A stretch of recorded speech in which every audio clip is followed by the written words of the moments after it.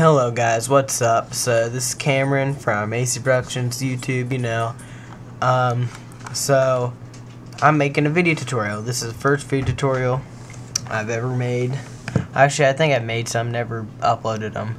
This will be the first one on my channel. Um, so I wanted to make a video tutorial. You know, first video tutorial. What do I make it about? Well, most of my movies are like gunfights, shooting, or you know that's what's popular. You know, there's lots of that kind of stuff. And to get started, I was just gonna do a simple effect: how to do muzzle flash, muzzle flash, but not just a muzzle flash. How to do a realistic looking complex muzzle flash. So that's just gonna be my intro, and later on, if I keep doing this sort of stuff, I'll go more into detail. Or not, I'm gonna try and go into lots of detail in this muzzle flash. I'm gonna show you how to do blowback and all that, but if I keep doing it, I could, doing these tutorials, I could show you how to make realistic blood, how to, I could teach you lots of stuff, alright? Just leave me a comment in the comments and tell me what you want to do. You know, I'm new to the tutorials, so just tell me what you want. I could do After Effects, Final Cut Pro, Photoshop, Cinema 4D, you know, all that stuff. Just teach, leave me a comment and I'll show you. Alright guys, so first thing you want to do, go to Google, Google Images, search Muzzle Flash. Um, what I usually use is this thing from Video Copilot. It's called the Action Essentials Pack 2. They have tons of great muzzle flashes and stuff. But if you're new to this, just go to Google Images and find a muzzle flash. You want to find one with the black background. Um, just find a good one. Alright, so once you find the one you want to use, just drag it onto the comp. Um, I'm using one from what I was telling you about, the Action, Essentials 2 pack I was uh, telling you about. Um, but you can find, you can try and find a good one on Google or search up for uh, stock footage packs. Then you can find them. Um, Action Essentials 2 from Video Copilot. I'm to put a link because that's like the best place, best place to find them. Um, but see, I was not able to find a very good one on Google, so here's what I got. Alright, so you if you got one from Google, you want to make sure it's only about a frame or two long, no more. This one is two frames. I'm gonna make it one, so the flash is only there for one frame. Um, that's what you're gonna do if you have one from Google. And it's very, my background is very bright, so you can't hardly see it. But you want to move it, place of the gun.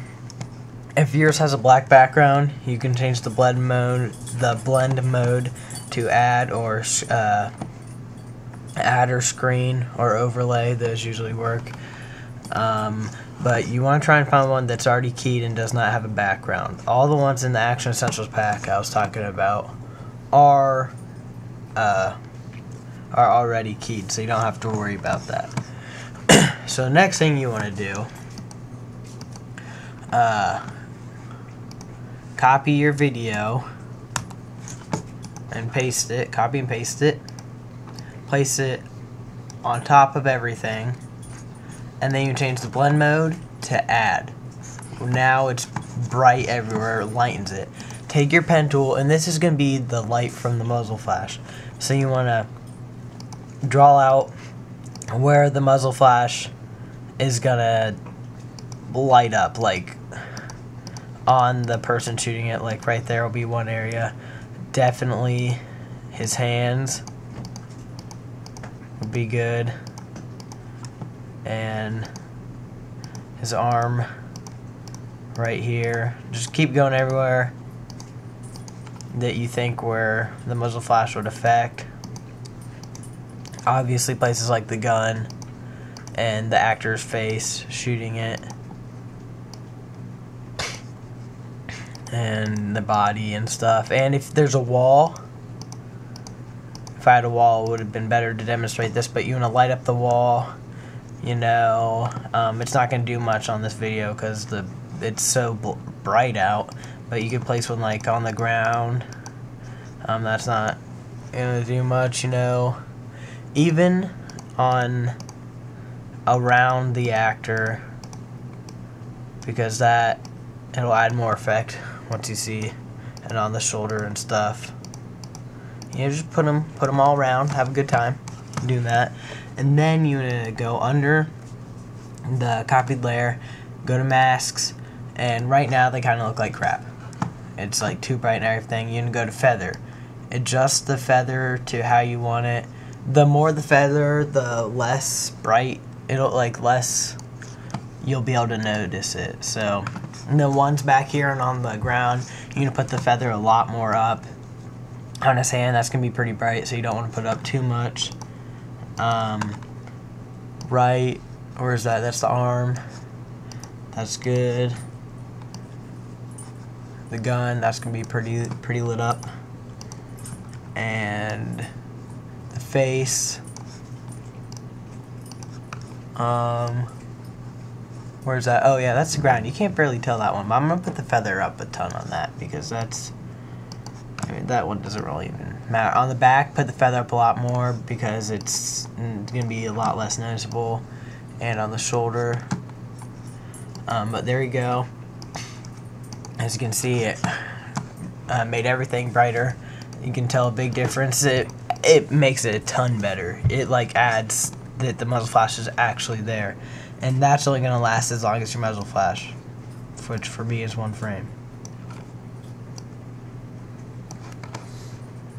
So right now, should look pretty good. You got the muzzle flash and the brightness, but something else we're missing. Alright guys, so the next step after that is that I like to add blowback to the gun.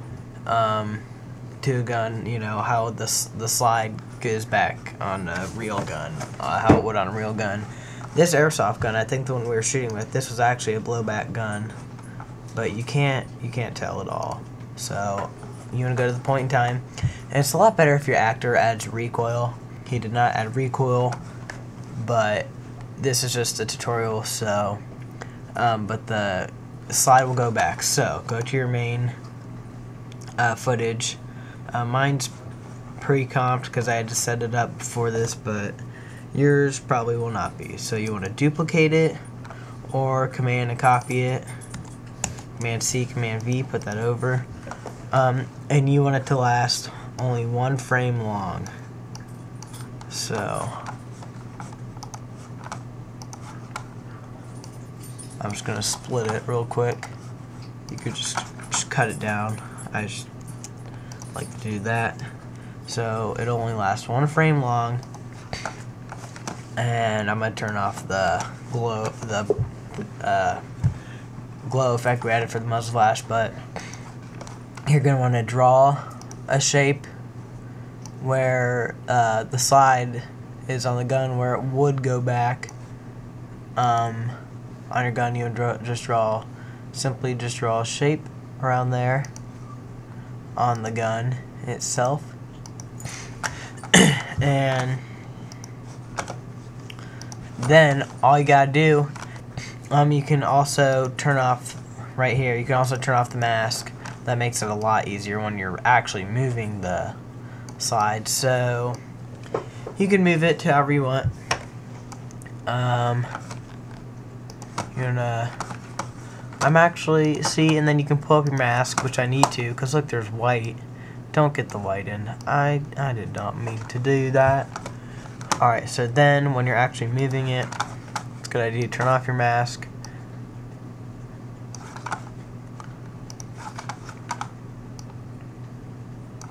Alright, rotate it, get it to fit so it looks good.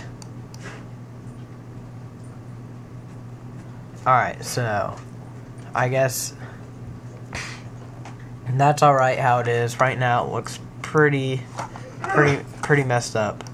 But what you want to do is, this is happening really fast. It's going to get blurry, so you want to go to Effect, Blur, and then a directional blur. And the direction is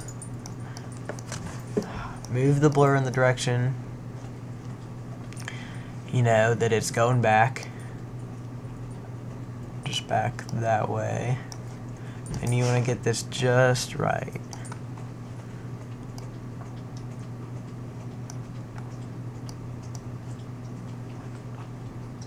alright.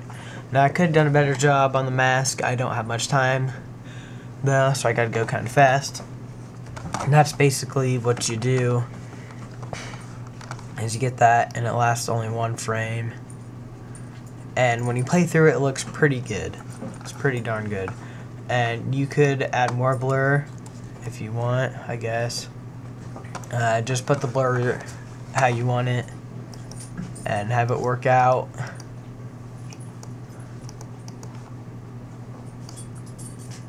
and here's one thing um, you want to see if you put it on top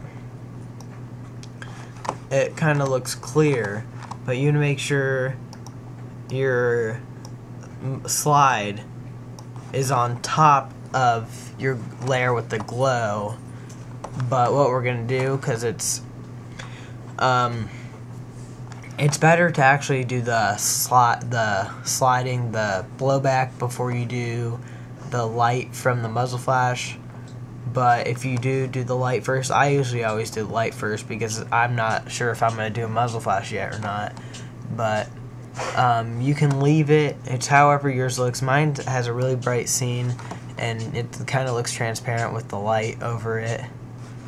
Um, but even if you play through it it still it still looks pretty good because it go the it goes so fast you can't even tell. It just but I want to make it look good. And also even easier is if you when you were adding the light you can go back and just take it off the gun just take the light off the gun because if off the top of the gun because if you have it everywhere else it still looks good. That's a quick fix, fix you don't even have to do the levels. This will just work out. And you can have it um, you can have the light over on top of the so over the layer. So you know you have the light and the blowback all working together and it looks pretty good when you when you play through it my mask was not very good. I was trying to go fast, but I see um, what you should do when you're masking. Get that in it so that actually goes back with it. But we need to move on. That next thing I do after the muzzle flash is smoke. There's always going to be smoke coming out of your gun. So you can go online. Uh, Video Copilot Action Essentials 2 also, again, has some really good smoke. You know, you can get uh, some smoke effects like puffs, or, you know, kind of like gunshot, like it would come out of a gun. Um, I'm just going to find one real quick I have on here. Uh, smoke, just drag it in. And mine, mine I didn't have very much smoke over on this computer so I took a muzzle flash that I had that had smoke on it and smoke ejects out of the gun. But as a black background so then again you can use this method if you have a black background for on Google. If you get a Google muzzle flash or something that has black background not working um, I would use overlay does not work. I would use screen. Screen looks the best. And then you want to into position. Now the only problem about removing black backgrounds and such is that you know you got and you can barely see my muzzle flash because it's so bright out or see the smoke but on your video the smoke bright or not it'll really make a difference whether it shows up or not. Mine you can barely see it because it's so bright behind the gun smoke isn't going to show up. Um, but you know you kind of get over here you can see where it didn't you know, take all that out when you changed it to screen. So if you go to layer or effect, color, color, color correction, I cannot talk right now. Go to levels and just move it around and you can get that out pretty easy. Just adjust it and mine's barely there. Move it a bit more and it's gone. I can't even see if it's there. It, it's not. It's gone. So you can put that on the end of your gun. You know, the smoke makes a huge difference in the gunshot. Um, so does the slide, the blowback, all this stuff. The biggest difference I'd say, like if you're trying to save time and you didn't want to do blowback or the smoke, you just we're trying to go fast. Which one it's most important, I think, is adding the light on your actor from the muzzle flash. Alright, next step. If you want to make it even look better, you're going to want to add some shells from the gun. And the best way to do this is uh, Video Copilot Action Essentials 2. Again, unless you can go, just Google, YouTube, search shell, gun shell on green screen, and or something like gun shell, stock footage, all that. But Action Essentials 2 has some pretty good bullet shells. Um, rotating. They're like short clips of them rotating. And you can, I'll choose that. that looks like a good pistol bullet. But, pistol shell, not bullet. What? See, I can't even think. I'm just trying to get through this, you know and I'm calling a shell a bullet, and I was talking about the blowback, you know, I'm calling it the slide. It's, I'm terrible. I'm sorry.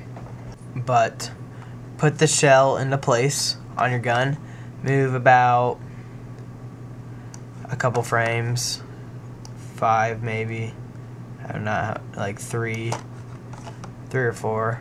Um, actually, no. First, you want to go back to the to where it was you want to go to transform and you want to uh, animate the position. Um, you can do the scale if you want. Yeah, position and scale. You'd you'd like to do that, but move a couple frames. Three, four, five, how, however many. It depends on your where the actor is and all of that. Alright, so once you move up, you're going to want to move it off camera somewhere, off like down, because it's going to go down. And then, and also, you're going to want to make it bigger if it's coming towards your camera. That's what I'm doing. Um, and then, also when you're editing this, there's a hand handles on here on After Effects, and you can edit the curvature, which is really freaking awesome for doing this kind of stuff. You know, it's awesome for every, everything. So the bullet is looking pretty sweet. The uh, not bullet. See, I'm doing it again. The shell's looking pretty sweet. So you know you've got the shell popping out and everything.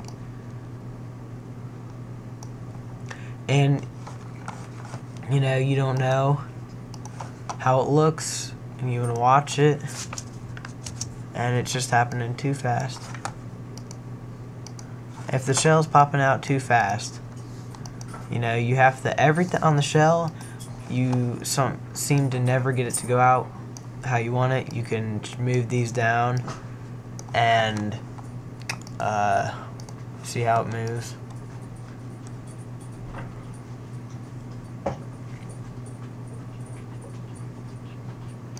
You want to go. It's going to go pretty fast, so.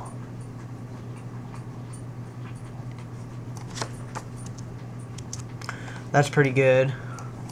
But then it comes through and gets bigger because it's coming closer to the camera. And uh, we also want to go to effect blur because it's moving so fast. And I think I'm going to do a fast blur.